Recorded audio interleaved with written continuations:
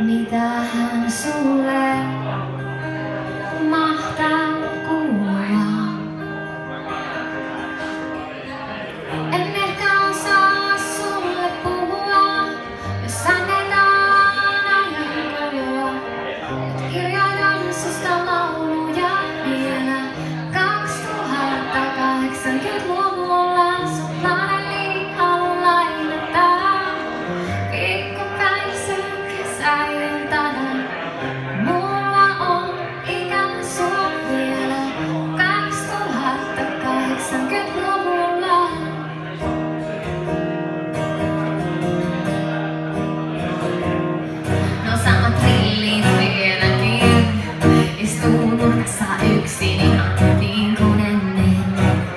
ihailin, silloin rohkean kaderin.